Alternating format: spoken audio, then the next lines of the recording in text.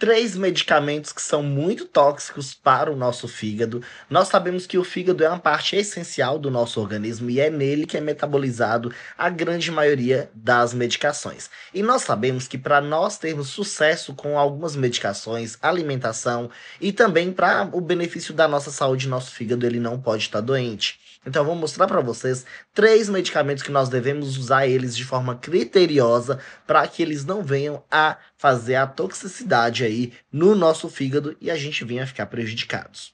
O primeiro deles é o paracetamol, que é um medicamento para dor e febre, porém ele tem um alto índice de toxicidade se nós não utilizarmos nas miligramas corretas, tá, pessoal?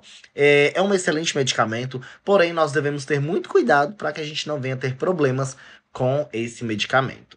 O segundo medicamento que eu trago nessa lista é a nimesulida, que é um ótimo anti-inflamatório.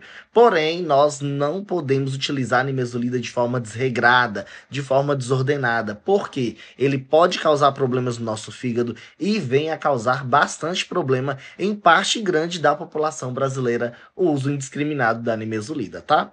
E o terceiro que eu falo para vocês tomarem muito cuidado no uso, além dele ser um medicamento de uso restrito, que é a amoxicilina, que é um antibiótico muito bom, porém, além dele poder causar resistência bacteriana, ele também pode prejudicar o nosso fígado. Então, assim, muito cuidado no uso dessas três medicações, tá?